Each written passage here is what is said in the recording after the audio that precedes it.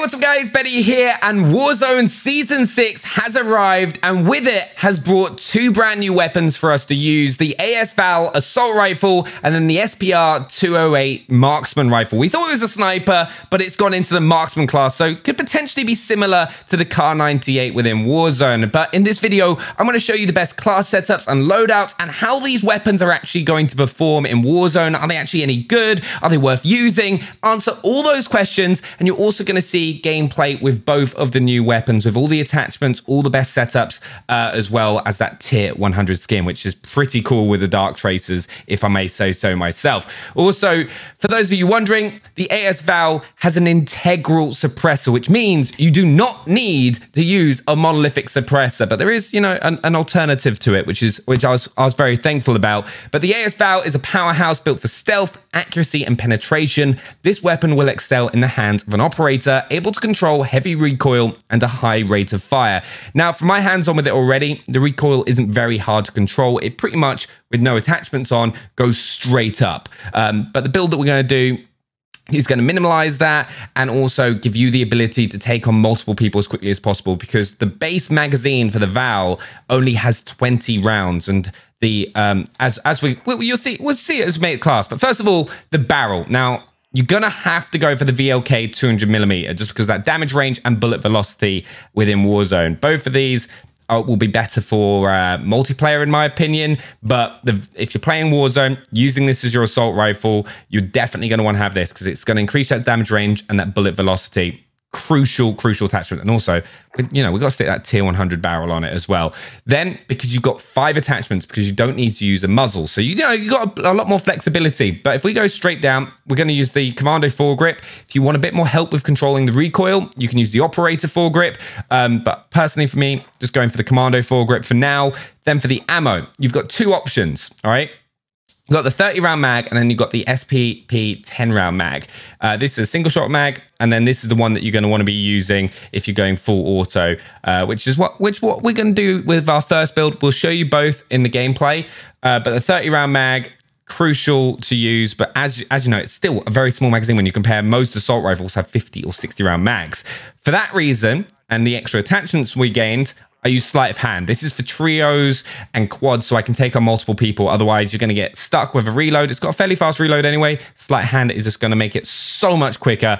Then I'm going to throw an optic on it because, you know, I like the iron sight's nice, um, but for a distance, I still want to be having an optic. Um, so I'm going to use that and I'm going to stick the uh, blue dot on. If you don't want to do that, you can probably put the uh, rubberized uh, grip tape on there just to get a bit more recoil control um, or one of one of the stocks. But I, I kind of personally prefer this sort of build.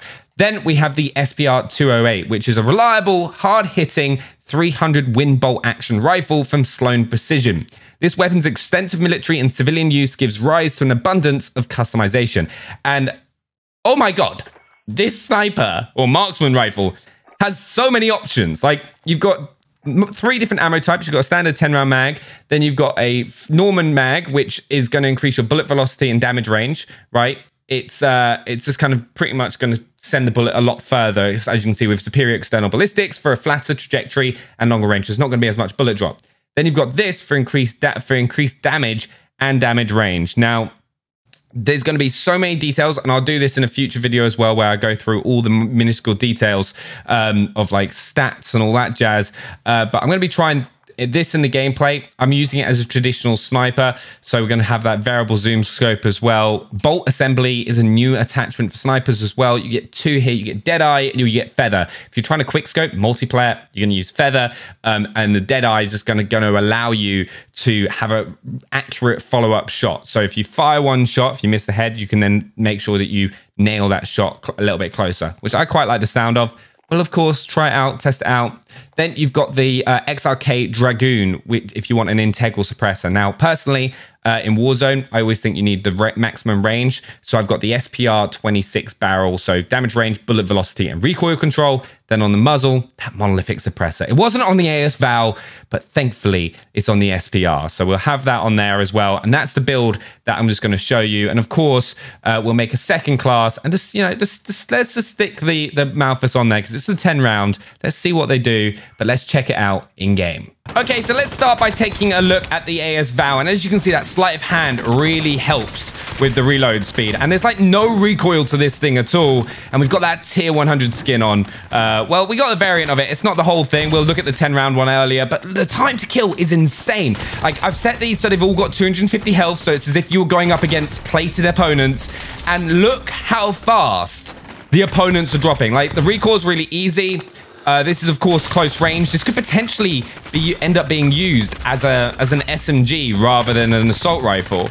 But like the time to kill is so clean, especially if you can land those headshots.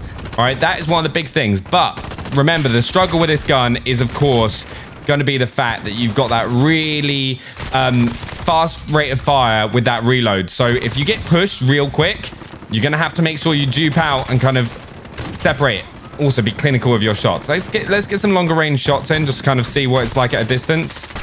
Recoil's a little bit harder to kick. It kind of locks in place.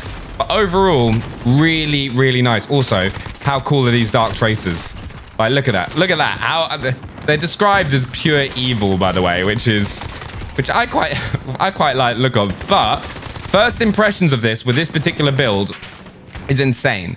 Um, Will be interesting to see how it works within the meta of Warzone, whether it starts getting used as an SMG, because I, I honestly, I think this could compete, like genuinely compete with some of the best SMGs like the MP5, just in that time to kill. Look at the fire rate. The fact that it's got an integral suppressor, if so, straight away, I would just be dropping the um, the sight off using the iron sight for close range. You don't really need the scope, but I've, i think it's exciting times. It's exciting to see it. But let's try out the uh, SPR as well, which we have. Um, as you can see, it's got that suppressor on it. It's gonna. Oh, it's it is very nice, especially with that um that deadbolt that deadbolt in there, which kind of helps recenter the scope. Definitely going to be very very much like a Kar 98. I think it'll be interesting to see as well, just like kind of a test of yeah, we're getting headshots and they're going down with the with a headshot in one shot. That's one thing I'm always concerned about. Hold on, that was that a headshot? No, I don't think so. All right, let's just line a headshot up on you. Right, I need to... No, you've been hit. Oh, he, he'd been hit.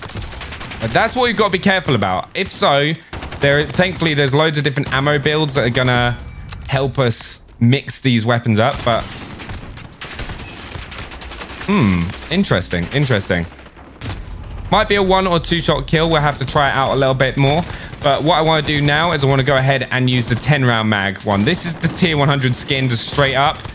Oh, oh, okay. Also, it's got a Dragunov scope on it, which I'm not a big fan of, just on the base. But from a 10 round perspective, you know what we're going to do? All right, this is what I love about this. We're going to just change the scope on it. So sorry, we're not going to use you. We're just going to go straight to a Corp Combat Holo. Just so we, you know, we can... This could be... A, it's only a 10 round mag is the downside with it. Very, very similar to a lot of others. But remember, these got 250 HP. All right, so when we're using it, nice and clean. Wait, wait let's just let's just kill ourselves. Kill me, please. Thankfully, that or he just killed me with an origin. Thankfully, that got nerfed to the ground. Oh, okay. This has got a lot of high fight. Yeah, that's got a fast time to kill potential. But like I said, 10 round mag always scares me because if you miss a shot uh, and you're playing multiple people, yeah, you need four, four shots to kill with the uh, 10 round mag. Really powerful. Um, but I'm just not I'm just not the biggest fan. I'm just honestly not the biggest fan of single shot weapons within Warzone. Uh, very risky, but still satisfied. I just love these dark rounds though. Uh, let's just see what else we got. So that is the two classes in action. Let's just quickly try. That was the that mag. Let's try it with the normal rounds real quick. If we do this. So just so you can see exactly what these do. So this is like for a straighter trajectory. Oh, yeah, it's it's definitely a one-shot headshot. At a certain range, it might need more damage range. Like, this is what, like, loads of testing is going to go into this, but first impressions, Really good. Really like the weapons. Recoil's quite easy to manage. Um, on the AS Val. But those are the two brand new weapons for Warzone Season 6. Go ahead, down in the comments below. Let me know what you think, how you think they're going to perform. Do you think they're going to be in the meta? I think out of the two, the AS Val has the biggest chance, but I don't think it'll be used as an assault rifle. I think it's going to end up being used as an SMG, uh, but we'll have to wait and find out. Subscribe if you're new, get a more Warzone Season 6 content, including the 100k ROKKR tournament here on the channel. So, we'll see you then.